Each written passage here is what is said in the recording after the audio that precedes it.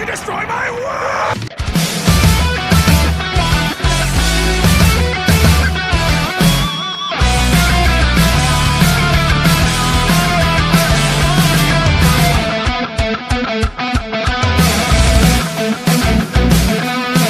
Bienvenido a todos y todas al canal, ya que estamos en un nuevo vídeo de Dragon Ball Legend Donde bueno, en este vídeo vamos a ver qué tal está Vegito Blue ¿Por qué Vegito Blue es el mejor personaje del juego? Como ya sabe mucha gente, es el mejor, sin duda Pero bueno, vamos a ver exactamente qué es lo que hace y por qué este personaje es el mejor, ¿no?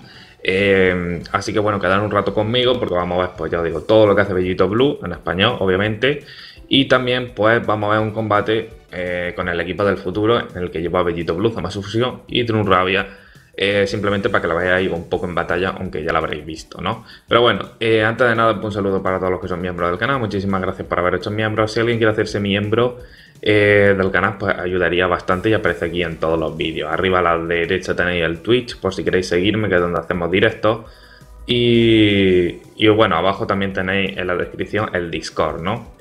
Para escanear los códigos de Senron y bueno, PvP, etcétera, etcétera, hablas con gente de Legend, ¿no? Bueno, dicho eso, eh, Bellito Blue entra en diferentes equipos. Entra en God Key, entra en Futuro y entra también en un equipo de Fusion Warrior. Entra en tres equipos distintos, con lo cual eso hace al personaje aún más valioso porque puede ser que algún día en God Key salga algún azul muy, un azul muy fuerte y diga, bueno, mmm, si no tengo Bellito Blue puedo llevar este azul, tal.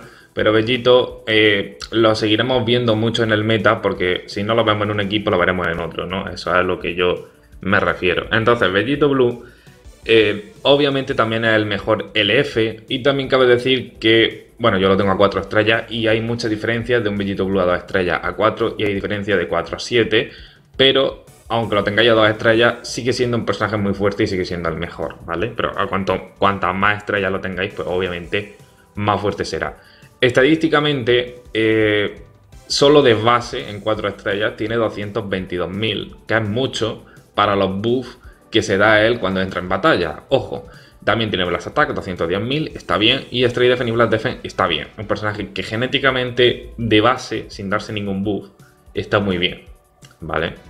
Eh, y ya lo dicho, el personaje a 2 estrellas lo podéis llevar en Fusion Warrior. Si os sale una vez, Fusion Warrior dos, eh, a dos estrellas, o sea, tres estrellas, podéis llevarlo también en un equipo de God Key que le daría la acceptability, ¿vale? Y si os tocara otros dos veces más, es decir, tenerlo a seis estrellas, pues entonces ya le daría también al futuro, ¿vale? Aunque de todas maneras, si metéis a Bellito Blue en un equipo del futuro, eh, con Zamasu y Trunrabia, al Zamasu, el Bellito Blue, sí que le daría, aunque tuvierais el Bellito, el Bellito Blue a dos estrellas, sí que le daría Zamasu, ¿vale? Porque Zamasu tiene el tag de Fusion Warrior, ¿vale? Pero al Rabia no le daría ningún buff el Bellito Blue. Eso cabe aclararlo. Bueno, vamos a empezar viendo que, bueno, eh, este es un personaje que es parecido a la hora de tirar los, a, la hora de tirar los strikes, ¿vale? Es parecido a la Kefla. Tira un strike, hace seed step, te recarga rápido, te va recargando un poco el kit, te va recargando un poco el esquivar. Es más o menos parecido a la mecánica que tiene Kefla, ¿no? Que puede encadenar combos largos con él, ¿vale? Eso cabe decirlo. De hecho, para los que lo hayáis probado, pues os habréis dado cuenta. Entonces, em, el special move que tiene es la, final Kamehameha, Final Kamehameha. Dice que inflige daño de impacto masivo. Dice que inflige a todos los enemigos con un sin cambio durante tres reencuentros de temporizados tras la activación. ¿Qué quiere decir esto? Que si vosotros le tiráis un par de strikes y luego vais a tirarle un special move, pues él no puede cambiar de personaje, con lo cual viene bastante bien. Esto también lo tiene Goku Super Saiyan 4, por ejemplo, es de color morado. Dice que inflige al enemigo una degradación de tributo de más 15% de daño recibido durante 15 reencuentros de temporizador y no puede ser anulado por la mayoría eh, de, los otros movimientos especiales. Quiere decirse que también, digamos que le vamos a hacer un downgrade, un, le vamos a hacer más, 15% eh, de daño, ¿no? Después de, de tirar el Special Move, que viene bastante bien. Eso viene siendo el Special Move. La carta verde viene siendo un combo que tenemos que hacer. Que la carta verde dice. Eh, eh, la carta dice, dice que golpe salvaje. Dice que los siguientes efectos ocurren en el golpe. Dice que cancela las actualizaciones de atributos del enemigo y se activa dos veces. ¿Qué quiere decir esto? Bueno, pues que si el enemigo tiene un buff de, yo que sé, más 20% de strike y, menos, y tiene un más 10 de defensa. Pues al tirar la carta verde te quita esos atributos. Bellito Blue te los quita. Y, dice que inflige al enemigo una degradación de atributos de más 25% de daño recibido durante 15 reencuentros de temporizador. Con lo cual tiene una carta verde bastante poderosa, porque si sale un personaje que genéticamente una mierda y se basa, por ejemplo, solo en los buffs que se da, si esos buffs se pueden quitar, pues Vegito Blue los quita. A excepción de que hay, hay algunos buffs que cuando entra en batalla y se dan unos buffs no pueden ser cancelados, entonces eso no los cancelaría la carta verde, pero otros muchos atributos sí.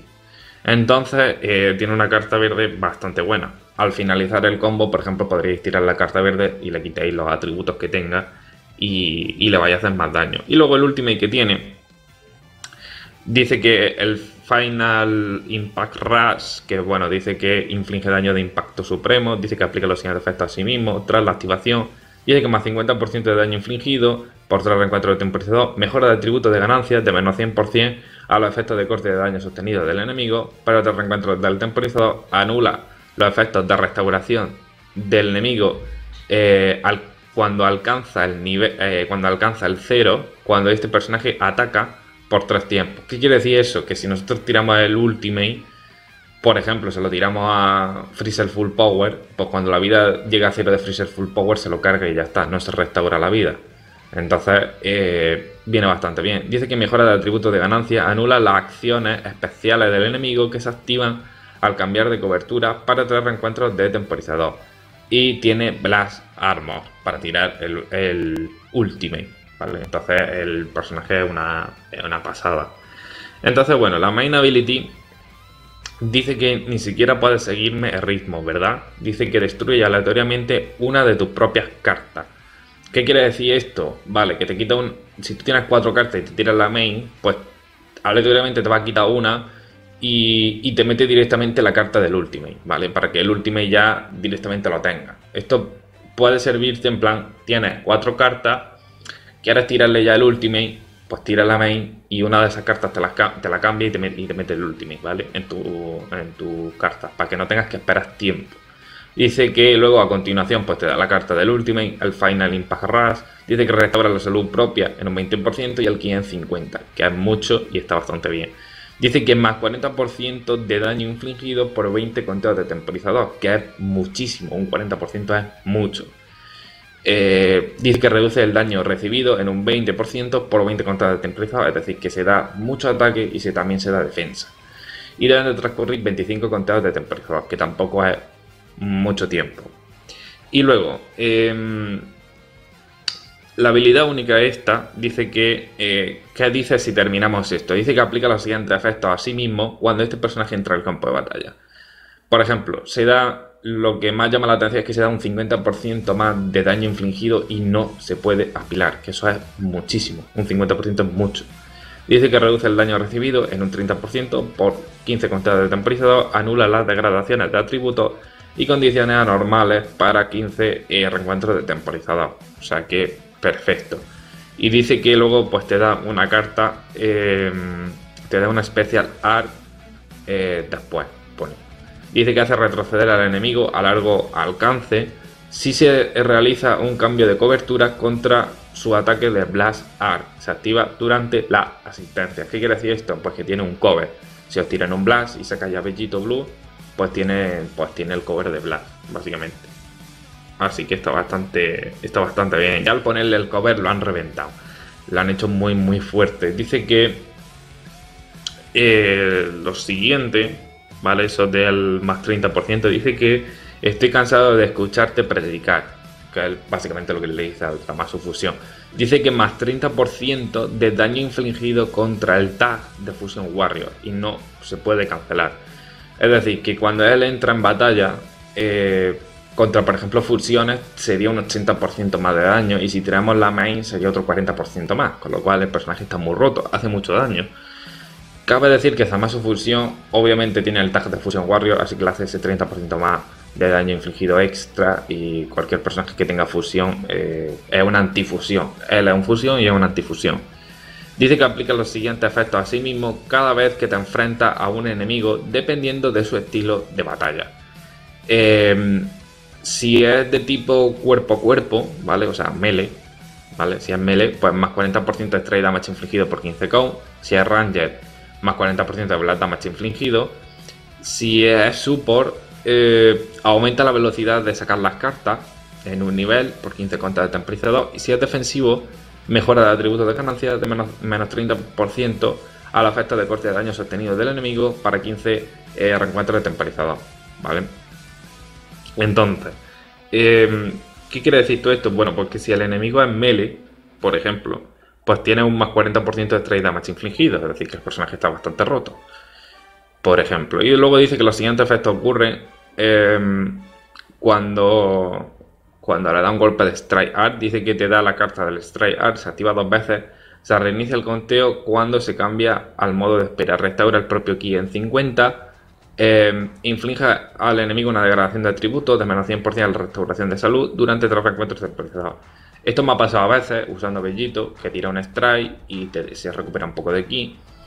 Y entonces si con este personaje haces seed step y aparte de ese seed step te restaura el propio ki en 5 cada vez que tiramos la carta de strike, pues digamos que un personaje que puede encadenar combos muy largos y en esos combos va a hacer muchísimo daño.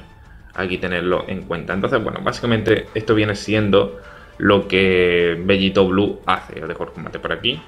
Ya digo, no es el mejor de los combates, pero bueno. Eh, en resumidas cuentas, un personaje parecido a la Kefla porque puede encadenar combos largos, ¿vale? Se da muchísimos buffs en batalla, eh, aunque estadísticamente al principio, que yo lo tengo aquí a 4 estrellas, hemos dicho que tenía 222.000 de strike, eh, nada más que para entrar en batalla sería un 50% más, y si es contra fusiones sería otro 30% más, y si tiramos la main ability sería otro 40% más. ¿vale? Y si tiramos, por ejemplo, la carta verde, le haríamos un downgrade de defensa, por ejemplo. Y si le tiramos una especial move, pues le bajamos más la defensa todavía. Con lo cual el personaje está muy roto. Es capaz de derribar prácticamente cualquier personaje eh, en un combo que hagas con Bellito Blue. Si no lo derribas, pues prácticamente lo vas a, lo vas a derribar. Obviamente este personaje eh, ahí no tiene que haber tirado el blast, sino el strike, pero bueno, F por mí. Cuando esquivéis, eh, es cuando tenéis que hacer el seed stack, como ahí que lo estoy haciendo yo, ¿vale? Cuando le he esquivado. Pero bueno, ahí me ha enganchado más su fusión en el cover, F. Pero bueno, tenéis, que tener en, tenéis que tener en cuenta que Bellito Blue no es inmortal, tiene puntos débiles. Los puntos débiles serían, obviamente, los personajes verdes. Como por ejemplo, el bug gordito con Zenkai sería un punto débil. ¿Por qué? Porque el bug gordito cuando tú lo sacas en batalla impide que cambie de. que cambies de. Mm, impide que cambie de personaje. Es decir, que si sale Bellito Blue y vosotros sacáis a Boo, eh, Bellito Blue no le hace nada prácticamente de daño a Boo. Y Boo, si lo enganchas, pues sí que le puede quitar bastante vida. Digo que le puede quitar bastante vida porque Boo no es de ataque, es defensivo. Pero bueno, sería un punto débil de, de Bellito, ya que podéis incluso encadenarle un combo con otro personaje, sacar a Boo, impedirle el cambio y, tirarle Resin por ejemplo, y quitar a Bellito Blue rápidamente o infligirle, eh, tirarle un combo de strike a Bellito Blue y hacerle muchísimo daño. Así que ya os digo eh, que bueno, tenéis que, tener, tenéis que tener esas cosas en cuenta. También otro personaje que le puede hacer mucho daño a Bellito Blue viene siendo... Eh, viene siendo el Goku Super Saiyan 4 Full Power en un equipo de GT o en un equipo de los Saiyan. Ese personaje revienta a Bellito Blue Mm, en un combo de Blast se lo revienta, le hace muchísimo daño. Vale, eso hay que tenerlo en cuenta. Em, fijaros aquí en este momento de un strike, ¿vale? La cantidad de vida que le hemos quitado al Zamasu. Le hemos quitado muchísima vida. Creo, bueno, podría haberle tirado otro strike más antes del Ultimate, pero fijaros el daño que le hace a Zamasu en el Ultimate, ¿vale? O sea, de un Ultimate ya es que te quitas el personaje de encima, prácticamente. Entonces, para que veáis el poder que tiene este personaje, ya que otros personajes no hacen lo que hace este Bellito Blue. Obviamente está a 4 estrellas, pero si lo hubieras tenido a 2 eh, o a 3, probablemente cae, ese, Zamasu también en el Ultimate, ¿vale? Entonces, bueno, hemos dicho Bu sería un counter. Eh, Goku Super, Goku Saiyan 4 Full Power sería otro counter. Y en, en las propias fusiones, Kefla sería también un counter para Bellito Blue. Porque Kefla puede encadenar combos largos y es también de de color verde, ¿vale? Esos, tres personajes serían personajes que le hacen mucho daño a Bellito y que tenéis que tener en cuenta cuando os lo encontráis en el meta. ¿Vale? Muy importante. Eso sí, Bellito Blue a Kefla pues le haría un daño, mm, digamos que le haría un daño extra, le haría un 30% más porque Kefla es Fusion Warrior, entonces aún así a Kefla le haría mucho daño. Otro personaje que le puede hacer mucho daño a Vegito Blue pues sería Golden Freezer. En un equipo de Lineage of Evil, si encontráis un Golden Freezer, o va a reventar en el Blast eh, al Vegito Blue. Y otro personaje que podría hacerle muchísimo daño sería Vegeta Blue, LF, ¿vale? Que ese personaje entra en un equipo de God o en un equipo del futuro también se, ve a veces.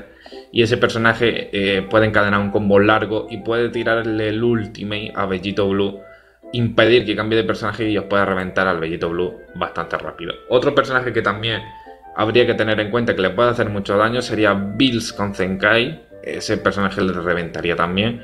Y otro personaje que también podría hacerle mucho daño en un equipo de los Saiyan, aunque os lo podéis encontrar poco, sería Goku Super Saiyan 4 LF. O sea, no, Super Saiyan 4 no, Super Saiyan 3 LF. Ese también puede hacerle mucho daño porque es verde, ¿vale? Pero aún así, eh, aunque Bellito Blue esté en desventaja de color, aún así hace bastante daño. Os puedo decir que por lo menos a 4 estrellas, si engancha una Kefla, en un combo de estrella le quita bastante vida. Le quita bastante vida y incluso hacer, si a la Kefla le queda, yo que vida amarilla, va a encadenarle un combo con Bellito Blue, tirarle el último y reventar a la Kefla. O sea, es un personaje que realmente es el mejor del juego y será el mejor del juego eh, por bastante tiempo. Creo que llegaremos al tercer aniversario y el personaje se seguirá usando, se seguirá usando perfectamente. Será el mejor azul para fusiones, ¿no? Igual que Super Bellito es el mejor morado para fusiones a día de hoy y estamos en el segundo aniversario. Así que bueno, pues espero que os haya gustado el vídeo, si así pues bueno, pues darle un like, suscribiros al canal si no lo estáis, activar la campanita para estar atentos a todo el contenido del canal y nos vemos en próximos vídeos de Dragon Ball Leñe. Hasta luego.